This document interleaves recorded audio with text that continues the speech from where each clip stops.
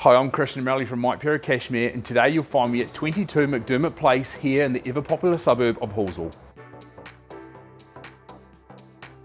This thoughtfully designed 263 square metre, 4 bedroom, 2 bathroom family home on an extra large, easy care landscape section is on the market for the very first time. Constructed in 2017 with an extensive list of features, it is surely going to tick all of the boxes in that home that you have been searching for. This is truly a must-see. Please sit back and take your time to watch the video of what could all be yours.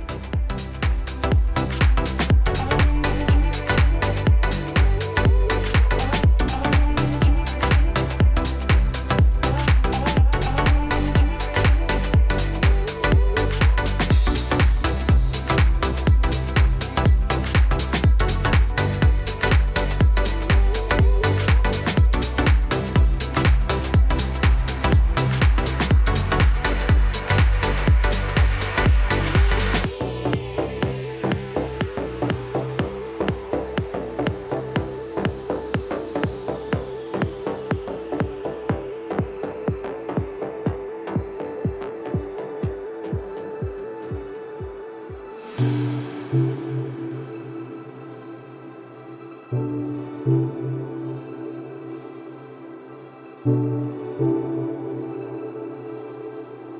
you